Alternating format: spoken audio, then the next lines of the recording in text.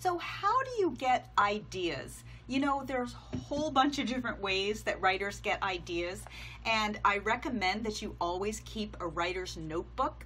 If you're out doing something or you're you're somewhere, you're watching a movie, you're out with your family, you're out with your friends, an idea pops into your head, you can write it down. And if you don't have it with you, write it down as soon as you can. But if you don't have lots of ideas just popping into your head, what do you do? You know, there's lots of things that you can do to brainstorm ideas. Once again, keep that notebook. One thing that I can like to show with students is that you can just, you know, play around with different things. Take a character, brainstorm a list of characters, put that in one column. You know, um, a boy, a girl, a rabbit, an alien, a turtle. Come up with a whole bunch of different ideas for characters.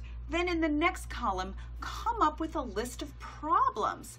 Um, you know, uh, the, the character uh, wants to win a race, but they can't, or the character um, is having a fight with their best friend and they want to get them back or you know your character wants to go to the moon or to climb a mountain or to swim across a river. Your character wants something that they can't have. That's a problem. Your character wants to do something and they're having problems doing it.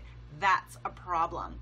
And then in your next column come up with a list of reasons why. So take a character from your first column take a problem from your second column mix them and match them up and then ask yourself questions. Why? Why is this character having this problem? Why can't this character do what they want to do? And try to come up with all the different possibilities that you can.